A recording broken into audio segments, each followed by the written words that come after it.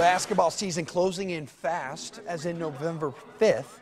FAU hosting its media day on Wednesday. Owls coach Michael Curry taking the podium. On the women's side, Kellie Lewis-Jay in the house. Both squads entering this year with high expectations, especially the guys whose talent runs deep. Sent two guys out last year as transfers.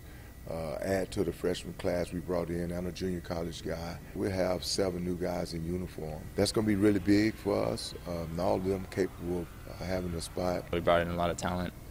Um, it's going to ra raise the competition level. Uh, it's going to keep keep everyone playing hard and everything. So um, you know, it's really exciting.